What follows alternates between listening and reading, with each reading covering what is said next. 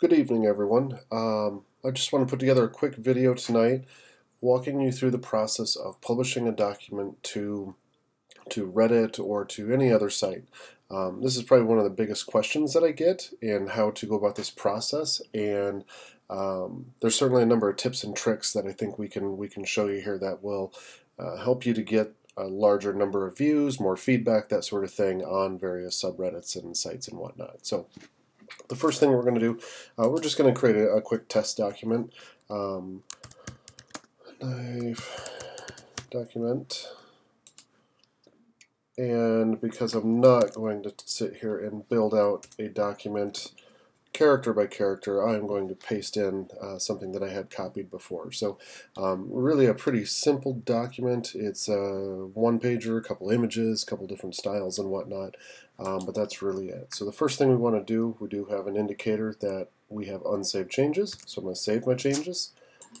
The next thing I'm going to do is click on the blue icon in the editor toolbar.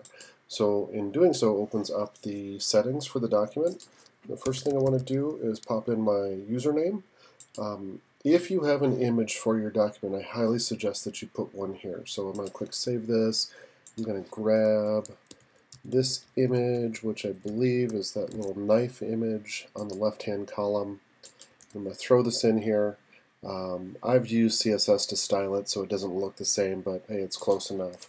Um, this is my super awesome document.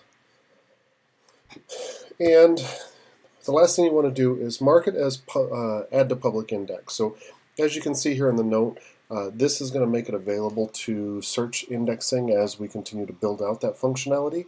Um, so in doing so, you are making this available for people to find, which in the context of you're sharing it to Reddit um, or to some other site, uh, that's the intent, is for more people to find your content. So it doesn't mean you're giving it away or anything like that. Um, you're still the author of it. People can simply find it by searching on, on GM Binder. So we'll go ahead and save the settings. And the last thing that we need to do is go in and create a new version. So I keep clicking the boxes before pointing them out. So this green button here is the bookmark manager or versions as it's currently called. Um, when you click this, we do get this, this uh, uh, pop-up that opens, and all you simply need to do is click the Create New Version. Um, now that you have done that, if you go back into it, there's a version created at this particular time. I can click this link right here, which will take and open up my document into a new browser window.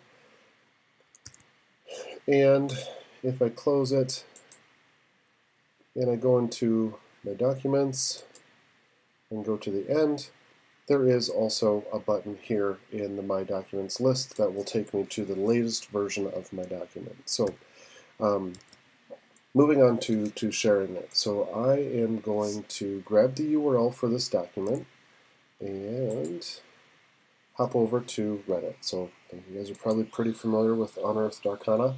Um, the best way for you to share a document to Unearthed Arcana uh, in my opinion, and it's been proven time and time again by a number of users, is to share a link. So part of the work that we've done within Binder is to grab the information that you've provided. So if you remember back over in the, uh, we'll hop back over here real quick, in the document settings, we have things like author and image and description and whatnot and title.